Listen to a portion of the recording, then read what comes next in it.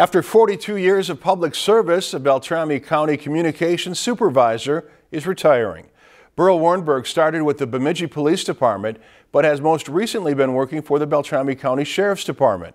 Family, friends, and colleagues gathered to celebrate Warnberg's career and share fond memories today. I had just gotten out of college. I had a degree to teach, and there were no teaching jobs available, and and so I took the test and came in first and started on the Bemidji Police Department and uh, stayed in dispatch, and it's been the best.